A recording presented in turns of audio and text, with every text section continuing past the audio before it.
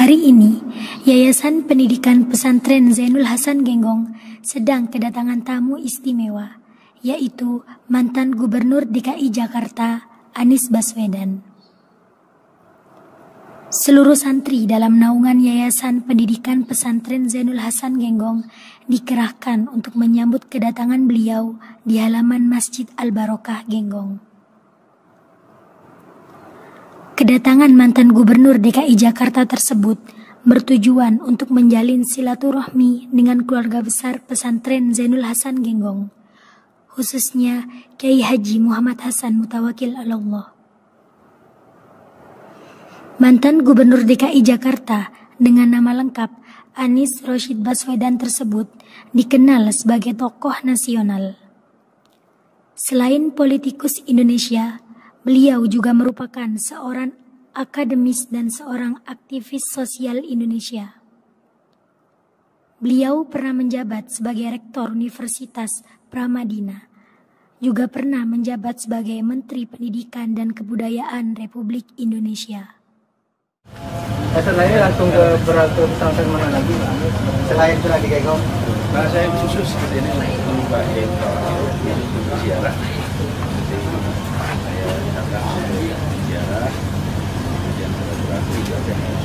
ini baru pertama mas. Pak Anies siapannya setelah kemarin di sini beberapa parpol belum ada. Belum ada khusus jalan saja. Mengalir.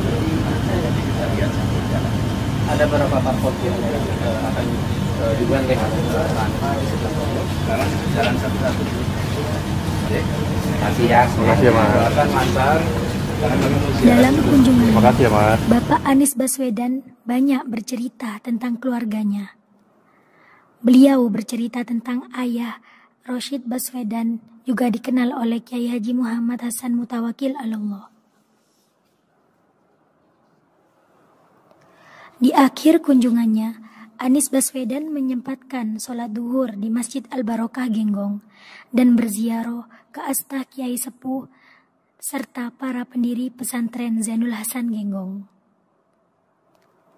Kedatangan Bapak Anies Baswedan disambut hangat oleh seluruh warga Yayasan Pendidikan Pesantren Zainul Hasan Genggong, baik para santri, Dewan Asatid, serta keluarga besar pengasuh pesantren Zainul Hasan Genggong.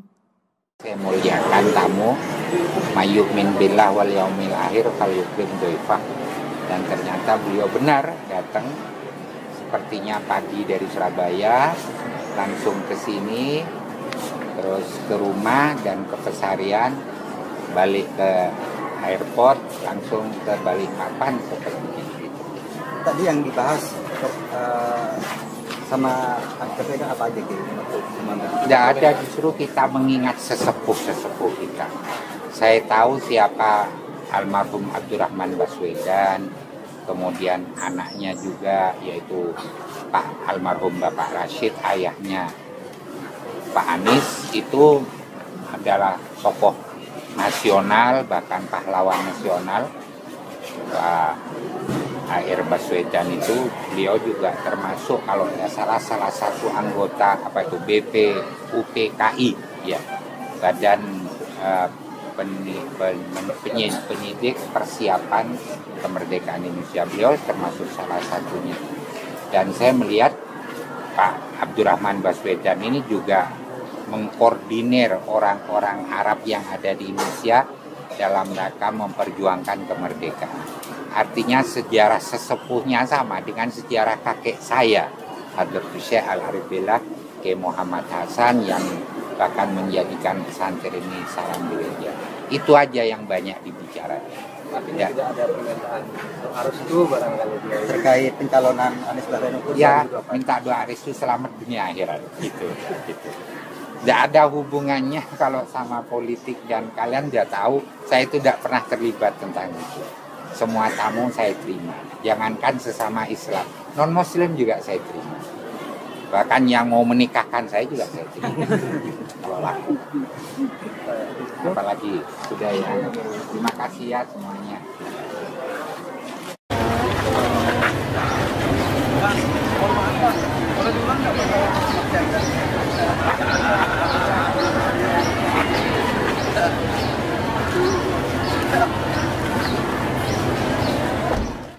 Aisyah Nuril Fajrin, Hafsawati News melaporkan. Wassalamualaikum warahmatullahi wabarakatuh.